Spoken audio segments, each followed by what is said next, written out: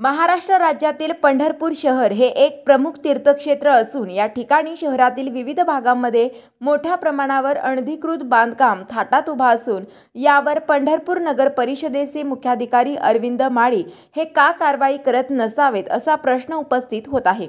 याबाबत पंढरपूर नगर परिषदेस अनेक सामाजिक कार्यकर्ते किंवा आदी नागरिकांनी शहरातील अनधिकृत बांधकामावर कारवाई करण्यासाठीच्या तक्रारी केल्या असून ही या प्रश्नाकडे नगर परिषद जाणीवपूर्वक दुर्लक्ष करत असल्याचं दिसून येते.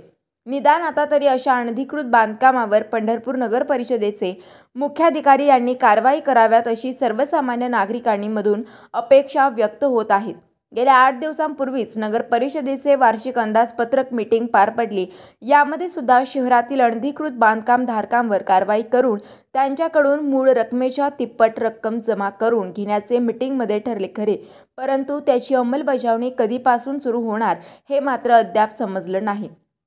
त्यामुळे शहरातील अनधिकृत बांधकाम धारकांना पंढरपूर नगर परिषदेचेच अप्रत्यक्षपणे अभय मिळत असल्याचे चित्र सध्या तरी दिसून येत आहे.